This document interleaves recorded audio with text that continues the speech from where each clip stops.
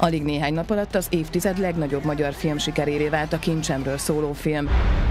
Képes voltál ráfogadni? A Herendi Gábor rendezésében készült romantikus kalandfilm az elmúlt tíz év legnagyobb első hétvégi eredményét produkálta a magyar filmek mezőnyében. A premier előtti vetítésekkel együtt 72.089 jegy kelt el rá, az összbevétele pedig megközelíti a 100 millió forintot. Cegvéden is nagy sikerrel vetíti a mozi a filmet, amelynek elkészítése pont azért volt kicsit nehezebb, amiért egyébként könnyű is.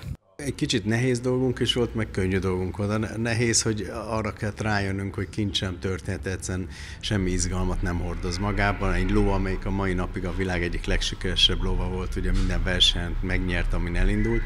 Ezzel nem nagyon tudtunk mit kezdeni, úgyhogy kénytelenek voltunk egy kitalált történetet köré farigcsálni, úgy, hogy a szereplők azok valódiak és hitelesek voltak, a történelmi háttér is abszolút hiteles, de abba egy kicsit szabad kezet adtunk magunknak, hogy milyen történetet rakunk köré. Ezért született meg így a film, vagyis romantikus kalandfilmként. Van benne párbaj, szerelem és persze hős is, nem is egy.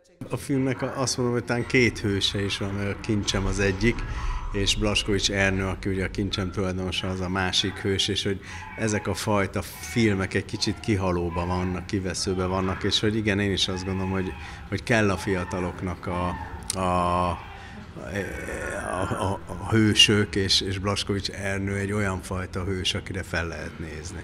A film rendezője a közönség találkozón arról is beszélt, miért nagy öröm számára, hogy sikerült azt a korosztályt is bevonzani a mozikba, akik egyébként ritkában választanak kikapcsolódásul kosztümös filmet.